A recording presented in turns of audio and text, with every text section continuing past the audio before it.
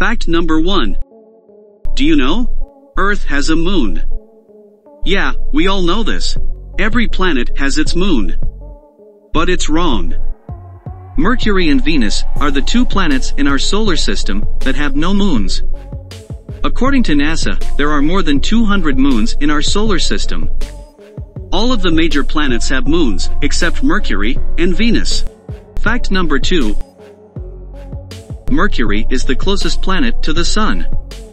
But the fact is, it is not the hottest planet in our solar system.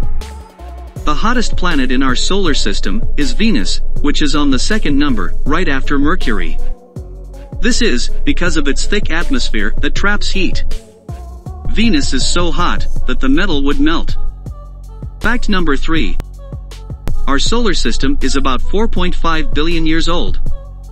Scientists estimate that, in about 5 billion years, our sun will transition into a red giant phase. In about 7.5 billion years, its expanding surface will engulf the Earth. Fact number 4. Saturn has 83 moons. One of them is Enceladus. Its icy surface reflects 90% of sunlight, rather than absorbing it. As a result, the temperature here reaches minus 201 degrees Celsius. Fact number 5. The highest mountain discovered is the Olympus Mons, located on Mars. Its peak is 25 kilometers high, which is three times higher than Mount Everest. Fact number 6. The Sun is huge. Its diameter is 109 times that of Earth.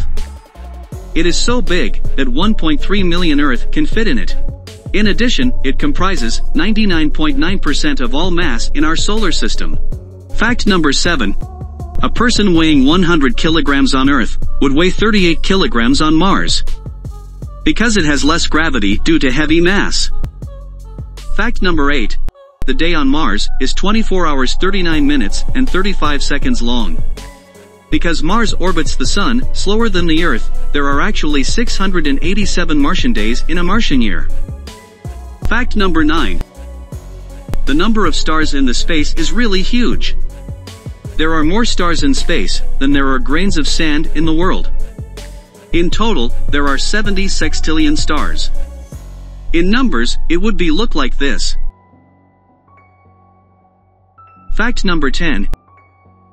Any freely moving liquid in outer space will shape itself as a sphere. Because there is no gravity to pull it down.